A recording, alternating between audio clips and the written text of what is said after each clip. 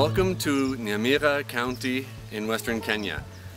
This is a lush green agricultural region and is the site of the Misire Youth Group, which is a business that's based on baking and providing baked goods to local schools.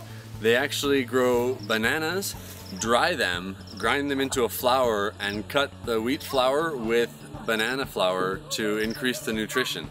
So their buns are very are very popular with local schools and they're looking to grow their business. So when World Vision put us in touch with them, we knew they'd be a great partner for showcasing this technology in the small business context in Kenya because they can't meet the demand. There's more demand in the area than they can meet because there's often charcoal shortages in this region, which we didn't expect. Charcoal prices here are the highest that we've seen in Kenya at between 1200 and 1500 shillings for a bag.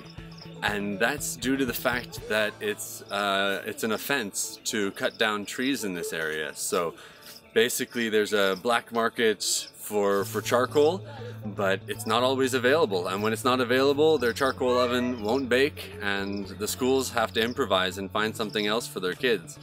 But now, instead of baking two times a week like they used to, two days out of the week uh, with charcoal, they're going to be baking every day. We want to embark on what this solar can do to us. And especially, we'll be cooking buns, making breads, with all sorts of things that this thing can help us to do. Something like this, we have not seen it. Especially to me, I've never seen it. But when I saw it, it impressed me a lot. There are to come to see what is this and why, how does it work. Especially it has improved me a lot concerning how we can use resources that we have available. What we've seen of this area so far is that it's crystal clear skies all morning.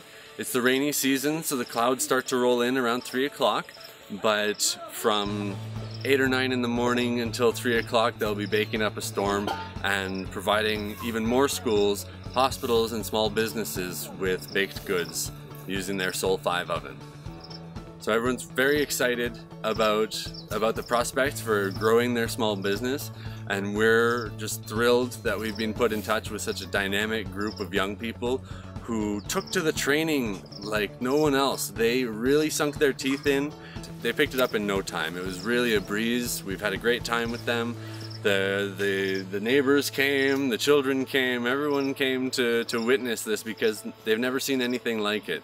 They say that opportunities are very scarce for them in this region and that with this technology they'll be able to grow their business into a thriving success.